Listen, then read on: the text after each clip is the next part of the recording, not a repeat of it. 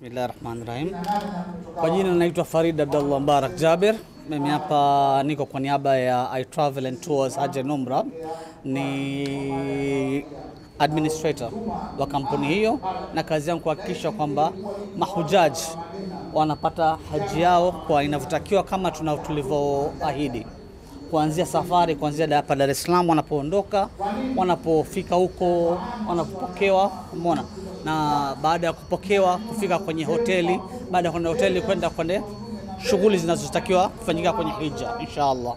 Alhamdulillah, safari tumejiandaa sana. Kuna wenzetu I travel tuko takriban alhamdulillah watu kama mia moja jumla, na hoteli zetu pia ziko karibu sana na Masjid Haram kote kuili Makka na Madina, na alhamdulillah tumejitayarisha vizuri kwenye masuala ya vigezo na vitu vinavyohitajika kwa ajili ya haji.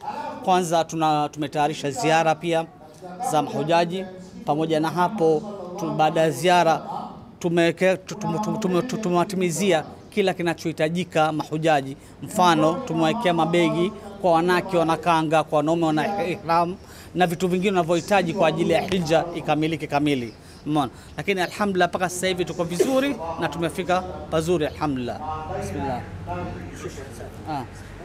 Kuna swala lote tunapata mtihani sana kwenye swala la haji kwa sababu kota yetu sisi hapa Tanzania ni watu elfu na mpaka sasa hatutimizi hata watu elfu tatu Safari alhamdulillah tunafika kwenye around elfu mbili na kitu kwenye hiyo kama, kama elfu tatu Kusema kweli tuko nyuma sana na tunaitia aibu nchi yetu Tanzania kwa sababu tunapata kota kubwa ya watu elfu lakini kutimiza watu elfu tatu tutimize ni aibu.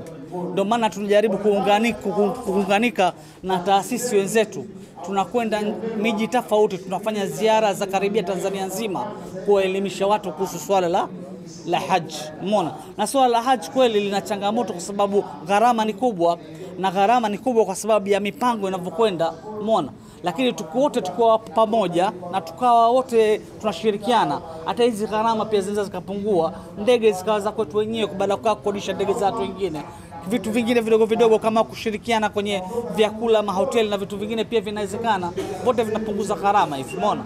So si tunatoa wito sisi hapa kwa Waislamu, naomba swala la hija ni swala la muhimu, ni nguzo ya tano kwa yule mwenye uwezo, lakini wako wengi wenye uwezo na bado hawaendi kwenye swala hili la hija.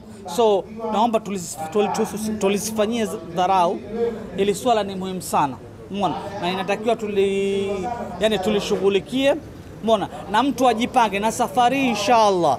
Ibn Batuta pamoja na I Travel, mbona? Tutaweka tutafanya mpango na wa kukusanya kuanzia baada ya hija tu, watu wataanza kujikusanya. Mona kuweka polepole kuchangia kwa ajili ya hija mwaka ujao au mwaka unaofuata au mwaka unaofuata zaidi. Kwa polepole kutakuwa na mfuko wake, yani mfuko kama wa SACCOS au mfuko kama wa, wa kujiwekea polepole, umeona, ambao utashughulikiwa na mabenki tofauti na benki za Kiislamu kwa mujibu wa njia ya Kiislamu inshallah. Alhamdulillah rabbil alamin.